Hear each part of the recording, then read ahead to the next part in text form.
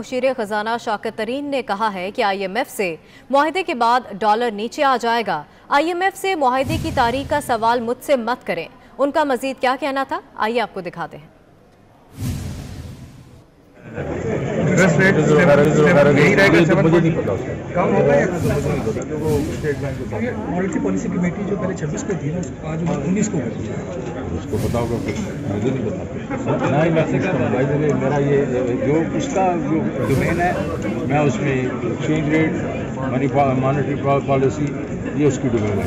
I don't even ask bill के हवाले से सर फ़िज़िकल और मॉनेटरी बोर्ड की एबॉलिशमेंट के ऊपर कोई आईएमएफ से कौन सा? फ़िज़िकल एंड मॉनेटरी बोर्ड जो है उसके ऊपर तुम देख लोगे। सर आराम से डील कब हो रही है? कौन कौन सी चेंजेस आईएमएफ की डील कब हो रही अभी ये कहा कि मेरे से मत बुलवाएँ। सर यहाँ से आ जाए सर यहाँ से आ जाए सर सर यहाँ से आ जाए डिप्रिसिएशन से और महँगाई में इजाफा होगा। क्या हम ये देख रहे हैं कि आइंदा एक से डेढ़ माह में और महँगाई बढ़ेगी? यार डिप्रिसिएशन तो मेरे ख्याल में ये जो रुपया डिवैल्यू हुआ है ना तो ये अगर आई का प्रोग्राम जैसे साइन हो जाएगा तो ये वापस जाएगा रुपया। रुपया वापस जाएगा। तो कब तक प्रोग्राम साइन होगा? तो तो यार प्रोग्राम कब- प्रोग्राम- यार। प्रोग्राम- दे चुका हूँ। सर ये कब तक कब तक फ़ायदा हो जाएगा? पूछोगे कब लेकिन हो जाएगा। इसी पर बात करने के लिए हमारे साथ मौजूद हैं हमारे मुआशियात डॉक्टर फ़रुख सलीम, उनसे बात करते हैं। फ़रुख सलीम साहब, बहुत शुक्रिया आपके वक्त का। वो कह रहे हैं कि आईएमएफ से डील के बाद रुपया वापस आ जाएगा। क्या कहेंगे आप इस बयान पर? देखिए, दुनिया की कोई भी करेंसी है, उसके ऊपर दो किस्म की ताकतें जो हैं, वो असरअंदाज होती हैं। एक कहलाता है फंडामेंटल इशूज यानी कि जो बुनियादी नुकते हैं और दूसरा है सेंटिमेंट्स का इशू यानी कि जो जज्बाती नुकात हैं। पाकिस्तानी करेंसी नीचे जा रही है क्योंकि दोनों ताकतें जो हैं वो उसको नीचे ले जा रही हैं। एक तो हमारी बुनियादी कमज़ोरी है, यानी कि हम इम्पोर्ट छः साढ़े छः अरब की कर रहे हैं, और एक्सपोर्ट जो है महाने की, महाना की बुनियाद पे दो ढाई अरब की नहीं हो रही, और उस चार अरब रुपए, चार अरब डॉलर के महाना के खसारे की बुनियाद के ऊपर रुपए के ऊपर पता है। दूसरा जो मैंने कहा कि सेंटिमेंट्स हैं कि जज्बात हैं, लोग सोच रहे हैं कि हम आई का हिस्सा नहीं है रिस्क बढ़ जाता है और वो रुपए को धक्का देते हैं नीचे की तरफ़। तो जो बुनियादी नुकात हैं, वो तो कायम रहेंगे।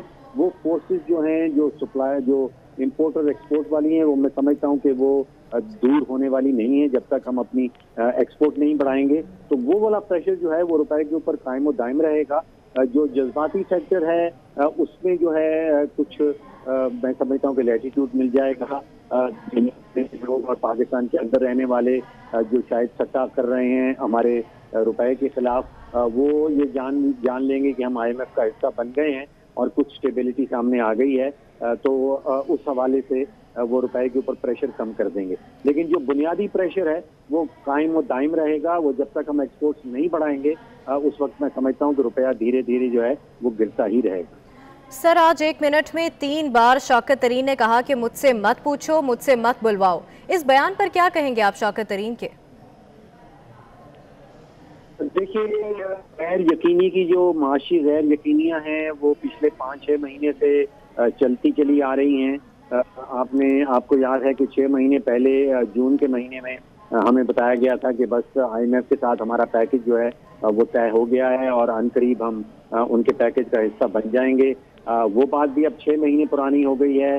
पिछले महीने हमें कई बार बताया गया कि बस एक हफ़्ता रह गया है हम आईएमएफ का हिस्सा बनने वाले हैं। सब चीज़ों की जो है वो सेटलमेंट हो गई है मुजाकरात जो है वो कामयाब हो गए हैं। लेकिन उसका नतीजा नहीं निकल रहा। तो शायद इस दफ़ा वो ये कह रहे हैं कि आप मुझसे कोई एग्जैक्ट डेट ना पूछें। लेकिन मामला कुछ ऐसा है कि हुकूमत तो जब आईएमएफ का हिस्सा बन जाएगी तो हुकूमत के लिए तो एक बड़ी खुशखबरी होगी कि कि हुकूमत जो है पाकिस्तान जो है वो आईएमएफ का हिस्सा बन जाए बन गई है। लेकिन अवाम के हवाले से मैं समझता हूँ ये किसी किस्म की खुशखबरी नहीं होगी। मजीद जो हम वादे पहले कर चुके हैं पेट्रोल या डीजल के हवाले से जिसमें तकरीबन तीस रुपए इजाफी फ़ी लीटर टैक्स लगने का वादा है जिसमें पाँच से छः रुपए बिजली का फ़ी यूनिट बढ़ाने का वादा है तो आवाम के लिए तो मुझे खदशा इस चीज़ का है कि जो बोझ है वो मुश्किल जो है ठीक है बहुत शुक्रिया डॉक्टर फ़रूख सलीम माहिर माशियात हमारे साथ मौजूद थे। बहुत शुक्रिया आपके वक्त का।